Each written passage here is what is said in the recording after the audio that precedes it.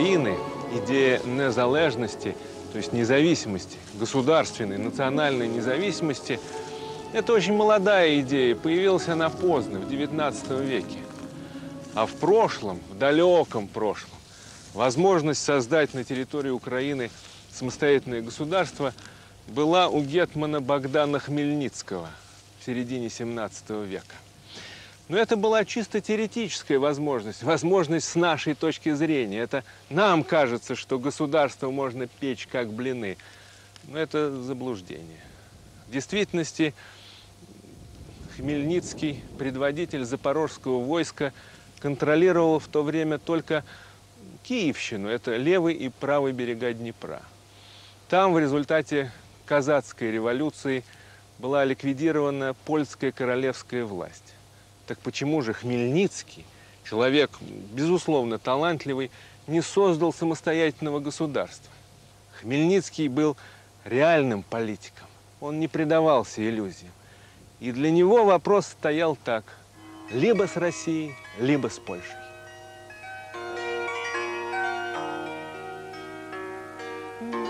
Русино серце, пожалій мене,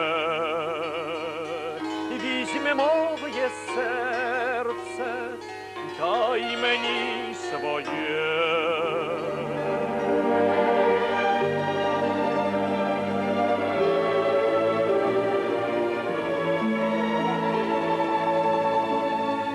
С польским королем Яном Казимиром гетман Богдан Хмельницкий встретится в августе 1649 года. Обстоятельства и место этой важной встречи говорят сами за себя. Она произойдет в польском военном лагере, который был разбит недалеко от города Сборово. Это на территории нынешней Западной Украины. Во время встречи король хранил молчание, чтобы окончательно не уронить свое достоинство. Королевский лагерь был со всех сторон окружен неприятелем, войском Богдана Хмельницкого и конницей его союзника, крымского хана. Неожиданно Хмельницкий предложил начать переговоры о мире, и поляки расценили это как спасение. Перед угрозой полного разгрома они стали сговорчивее, и Хмельницкий диктовал свои условия. Ну, конечно, в самых изысканных и добропорядочных выражениях. Вот так был заключен Сборовский мир между Польшей и Запорожским войском. Гетман присягнул на верность Речи Посполитой, присягнул на очень хороших условиях. Польша предоставила запорожскому войску широкую автономию. Все было закономерно и предсказуемо. Однако положение Хмельницкого было шатким. Сборовский мир давал только временную передышку. Гетман прекрасно понимал, что только его военная сила заставляет Польшу терпеть на своей территории не только православную, но и казацкую область, Украину. При первой возможности поляки наведут здесь порядок. Предчувствия не обманули Гетмана. Через два года Польша соберет военную силу и начнет военные действия против казаков. На этот раз удача будет на стороне польских властей. Двухнедельное сражение у городка Берестечко закончится жестоким поражением запорожского войска.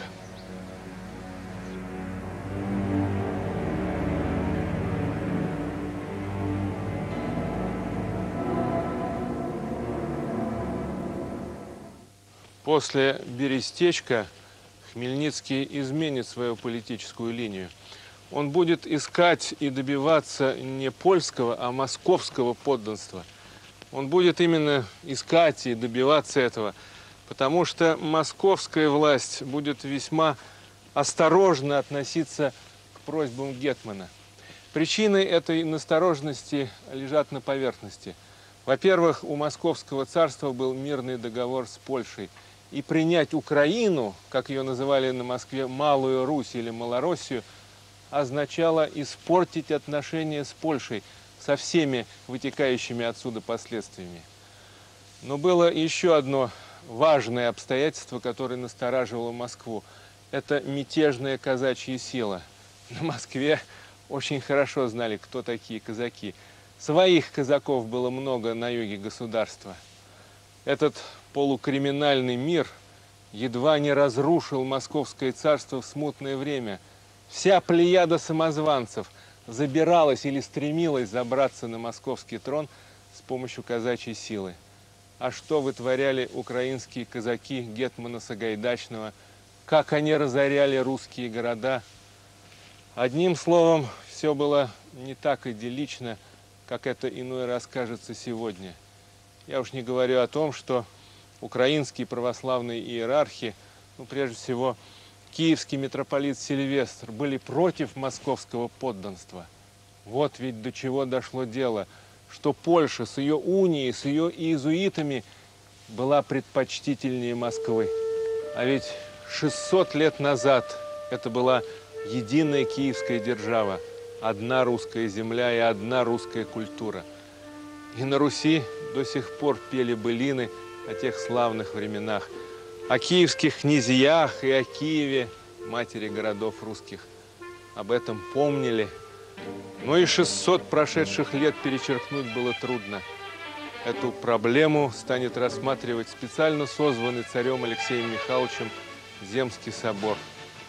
Лучшие люди страны решат принять Украину в состав России.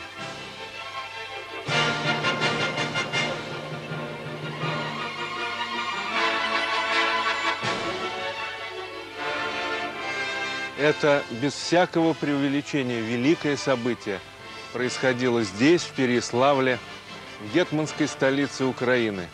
8 января 1654 года эта площадь перед Успенским собором была заполнена народом. На месте нынешнего, более позднего здания стоял старинный храм, и именно в нем запорожское войско – и Гетман присягали на верность русскому царю.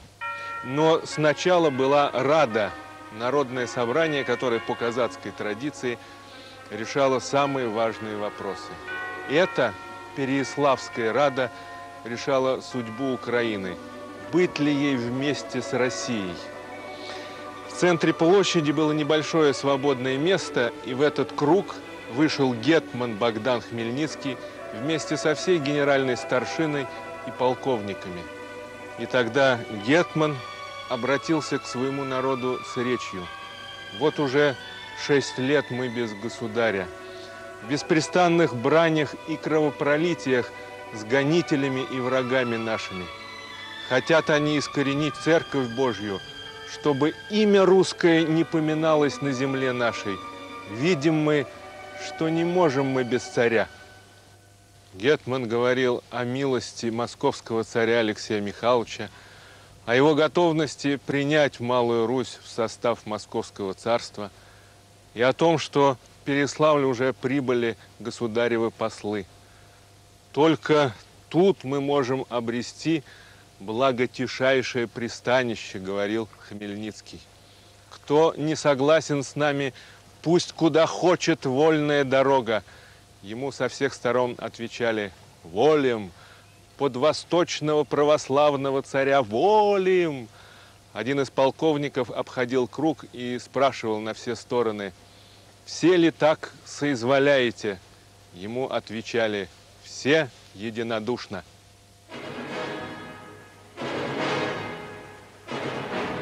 Весной 1654 года по Смоленской дороге началось активное движение войск. Московские полки шли к литовской границе. Участие в походе самого царя Алексея Михайловича говорило о значимости происходящего. Впереди государева полка везли из Москвы икону Иверской Богоматери. Вот так начиналась война России с Польшей. Она продлится 30 лет. Война была прямым следствием включения Украины в состав России. Польша бы никогда добровольно не согласилась с утратой этих земель. Ближайшей целью был Смоленск. Вот уже 20 лет, как Россия потеряла этот город. Он был захвачен поляками в смутное время. Смоленск открывал дорогу вглубь Речи Посполитой. В ту пору это сильнейшее государство Европы. Рассчитывать на легкую победу не приходилось, и воеводы готовились к трудной борьбе. Были и те, кто даже предавался отчаянию. Слишком свежей была память о том, как поляки хозяйничали в Москве и разоряли русскую землю. Но теперь польская армия не сможет остановить наступление московских полков и присоединившихся к ним запорожских казаков, присланных Хмельницким. Известия о сдаче городов следует одно за другим. Дорогобуш, Невель, Полоцк, наконец, Смоленск. Московское командование само остановит наступление, когда узнает о вторжении в Польшу шведского короля Карла X. Отдать Польшу в руки шведов – это не входило в планы Москвы. Представьте такой сюжет.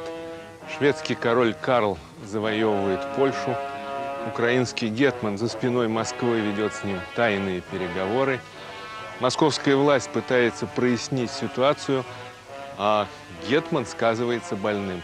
Вы, конечно, без труда узнали в этом сюжете знаменитую историю гетмана Мазепы, который накануне Полтавской битвы изменил русскому царю Петру Великому. Но самое удивительное, что точно такой же сюжет, но, разумеется, с другими деталями, имел место на 50 лет раньше. И герой у него был другой. Это Богдан Хмельницкий. При этом почему-то только Мазепу мы считаем изменником, а Хмельницкий продолжает оставаться для нас героем. Ему поставлен эффектный памятник в Киеве. И это не случайно. Почему-то нам важно, чтобы образ Хмельницкого оставался обязательно светлым, но уж Мазепу можно представить банальным злодеем. Хотя все это мифология, это, что называется, другая история.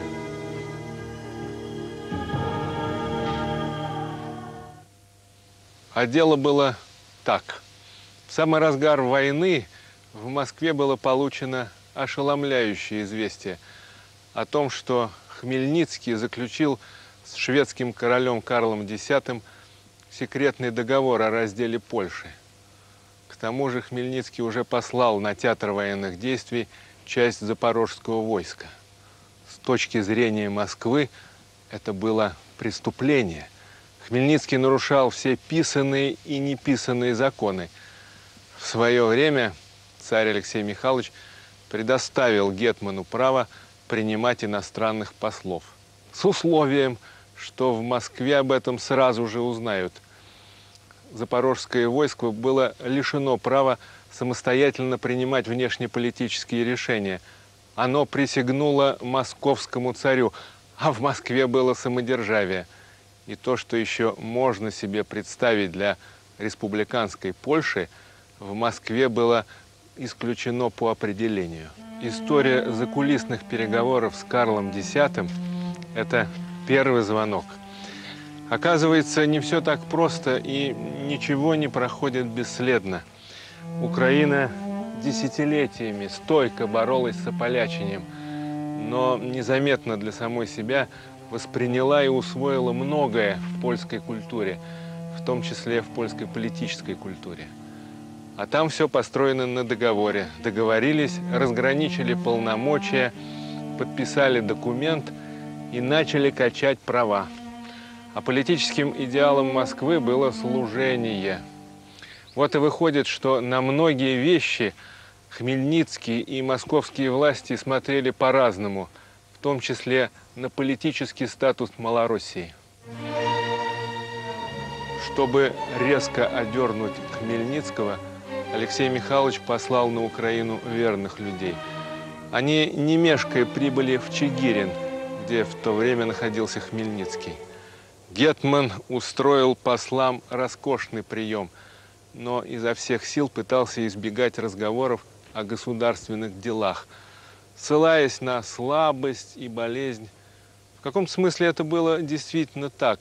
Гетман был болен – но царские послы не принимали во внимание никаких отговорок И Гетману пришлось выслушать урок русской государственности лежа в постели. Шведский король не друг московского царя. Поддерживать его преступление. Страшись за свои неправды праведного гнева Божия, говорили царские послы. И снова Хмельницкий был перед тяжким выбором. В его положении обязательно нужно было чем-то жертвовать. Либо верой, либо политической свободой. Запад преследовал веру, а Москва отбирала политическую свободу. Вся эта история подкосила Гетмана, и он умер в Чигирине вскоре после переговоров. Из всех украинских гетманов Хмельницкий – это, конечно, самая крупная фигура. Это он избавил народ от польско-католического плена. За этого его называли Моисеем веры русской.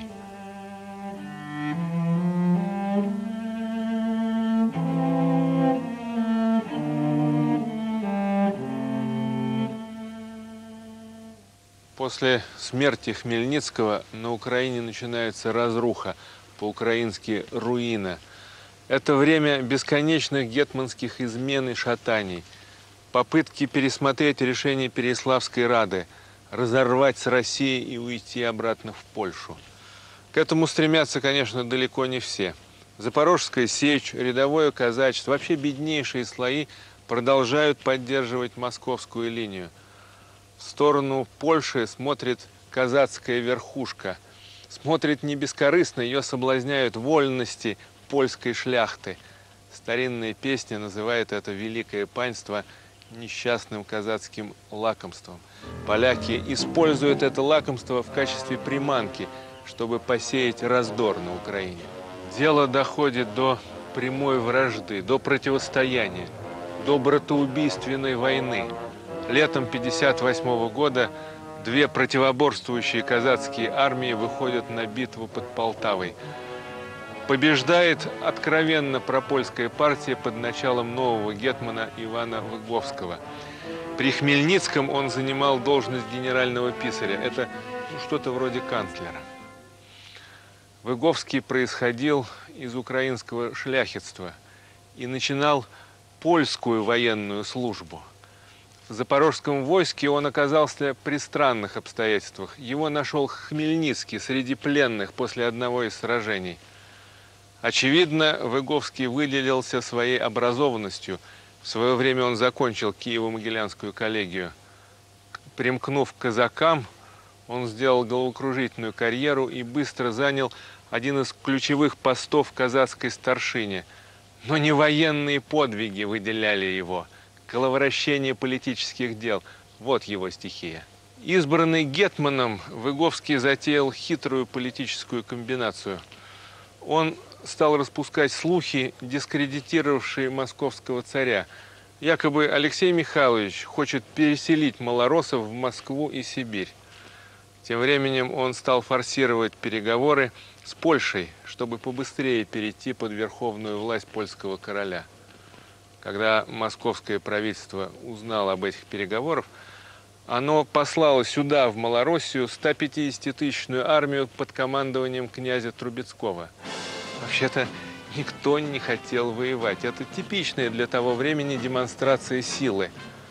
Но Выговский решил пойти в банк Используя военную силу, присланную из Польши и из Крымского ханства, он разгромил армию Трубецкого – это сражение закончилось отвратительной резней русских пленных. Трудно себе представить более серьезные испытания для взаимоотношений между Великой и Малой Русью.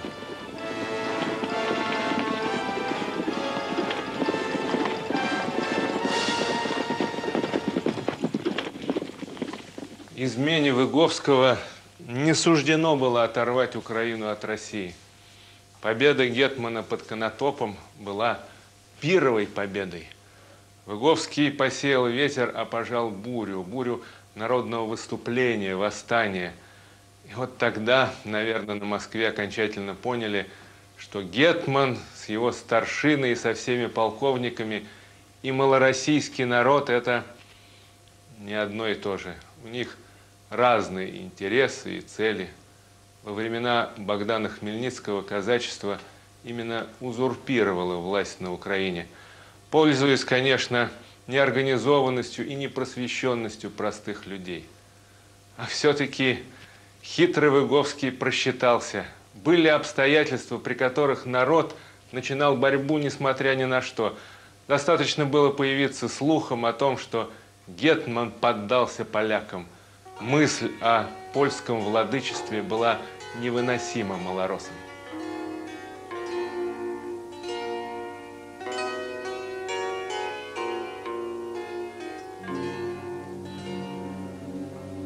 Почва стремительно уходит из-под ног Ивана Выговского. Старшина видит это, видит, как растет народное возмущение и покидает Гетмана.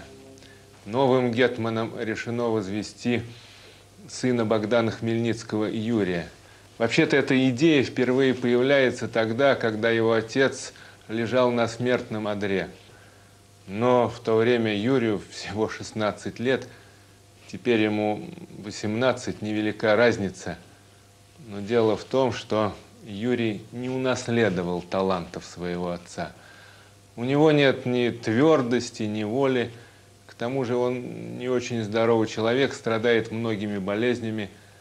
Такой Гетман неизбежно станет игрушкой в руках своего окружения. Это наделает немало бед. Но пока в октябре 1959 года Юрий Хмельницкий и казацкая старшина прибывают в Переславль. Здесь их встречает князь Трубецкой. Это ему Москва поручила уладить малороссийские дела. Старшина бьет челом, просит прощения за измену и объясняет, что склонил их к этому Ивашка Выговский. А потом собрали Раду здесь, в поле за городом, чтобы успокоить всех, чтобы показать, казачество возвращается под царскую руку. И не нужно волноваться. Рада изберет гетманом Юрия Хмельницкого, а потом станет обсуждать статьи или правила, что может, а чего не может делать гетман. Самое важное правило – это перечень украинских городов, в которых размещались московские воеводы. А вот это нужно было сделать давно, не при сыне, а еще при отце Богдане Хмельницком – Наличие администрации в централизованном государстве – это нормально. В конце концов, малороссийский народ присоединился к московскому царству, к сильному государству, желая порядка, желая ограничить произвол казачества. И история Гетмана Ивана Выговского, отвергнутого народом, это очень хорошо показала. И осталось дело за малым – преобразовать институт гетманства – из казацкого в Национальный государственный институт. Ведь интересы казачества и интересы всего малороссийского народа – это не одно и то же. Но вот этого не получилось. И поэтому не пройдет и года, как Юрий Хмельницкий изменит Москве и переметнется к Польше. Для московского царства это будет удар в спину. Русская армия в то время воевала в Польше и попала в очень трудное положение – на помощь Хмельницкого надеялись русские воеводы. Она нужна была как воздух. Но эта помощь не пришла. Следствием этого было поражение русской армии в Волыне. Это поражение целиком на совести Юрия Хмельницкого и его советников. А ведь Россия воевала в Польше за Украину и за украинский народ, который не хотел польского владычества – в результате все обернулось трагедией, разделом Украины на правобережную, тяготеющую к Польше, и на левобережную, присоединенную к Москве. Каждая часть будет избирать своего гетмана. Но на этом полоса гетманских измен не кончится. Самый известный персонаж из этого ряда – это, конечно, гетман Иван Мазепа. Но об этом в следующем выпуске исторической программы «Кто мы?». Цикле «Жили-были славяне».